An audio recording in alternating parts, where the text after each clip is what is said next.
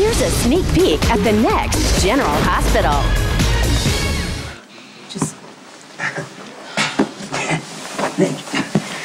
Thank you. And thank you, Mr. Butler, for making my point more eloquently than I ever could. you know what? Hitting Jax is not going to help her case. Now tell me that it surprises you that he lost control when he's confronted with a truth that he'd rather not acknowledge.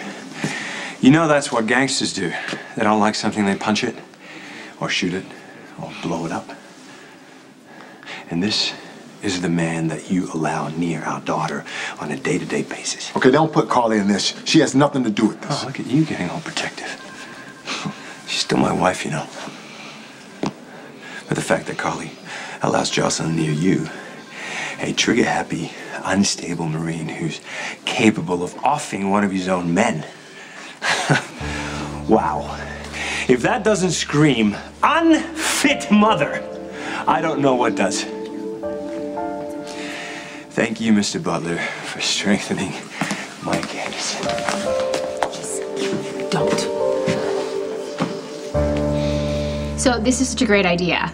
You, you know, I mean, it, this you, you you you took over before, right? Didn't you? After you know, Sonny disappeared. After Yeah, but that was a different married. time, different yes, I'm just saying, like when he took over, you know, how do you do? Were you were you happy with how he handled things? He was great. Yeah. It Did was- anyone resent him? I mean, did did the guys like him? You know, no one minded him taking over for They you. They already trusted him. Okay, well, here, what's the difference? This is the same exact circumstances. This- this is the perfect idea. You could help our son so much. This is I not mean, a honey- switch that you just flip. No, honey, You know? You know much pain and danger your children have been involved in because of your business. Yeah. So we could change this for our boy Alec. This could be your second chance, honey. You know? Don't you want to get out? Don't you want to go away?